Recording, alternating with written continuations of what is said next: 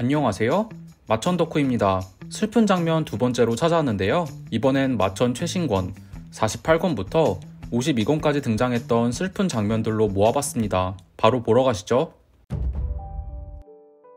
화룡은 오나자비 부부의 호의 무사이자 친구였습니다. 하지만 부부를 지켜야 한다는 임무를 끝까지 해내지 못했죠. 그 자책감 때문에 대마왕의 부하가 되기도 했고요. 화룡은 오나자비 가족이 다시 만나지 못한 것이 전부 자신의 탓이라고 여겼습니다. 특히 샤오는 아직 갓난아기였기 때문에 부모님 얼굴도 기억을 못하니까요.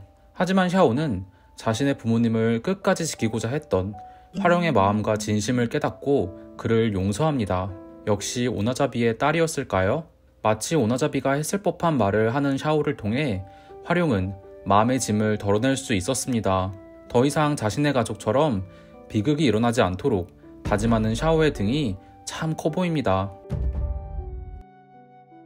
51권을 통해 삼장과 암흑상제의 악연은 아주 오래되었다는 걸 알게 되었죠. 갓 태어난 삼장은 암흑상제의 손길에서 벗어나기 위해 옥한계 쌀선원으로 몰래 옮겨지게 되었습니다.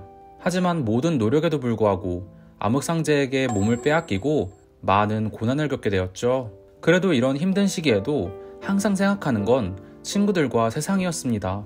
자신의 소중한 것을 지키기 위해 홀로 암흑상제와 맞서 싸웠죠. 갈피를 잡지 못해 불안해하던 삼장은 그 누구보다 성숙하고 남을 위할 줄 아는 용기를 가진 사람으로 성장했습니다. 이제 손오공 그리고 천재태자와 힘을 합쳐 암흑상제를 물리쳐야만 하는데요. 삼장이 드디어 암흑상제와의 악연을 끝낼 수 있을지 궁금하네요. 네 명의 신은 서로를 의지하며 세상을 평화롭게 만들기로 약속한 사이였습니다. 하지만 암흑상제가 다른 세 명의 신에게 저주를 걸며 모든 비극이 시작되었죠. 암흑상제가 시작한 일은 점점 커져 서로 의심하고 공격하는 상황까지 다다르고 말았습니다. 함께 웃고 떠들던 어린 시절과 너무 다른 결말로 치닫고 있는데요. 이네 명의 신이 화해하는 결말은 없는 걸까요? 궁금해집니다.